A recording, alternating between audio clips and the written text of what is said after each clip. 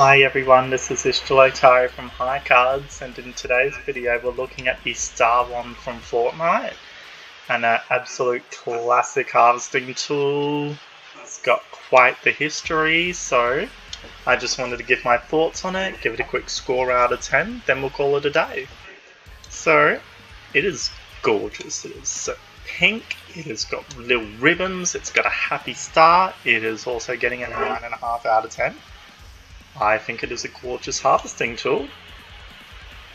And its animation for swinging is.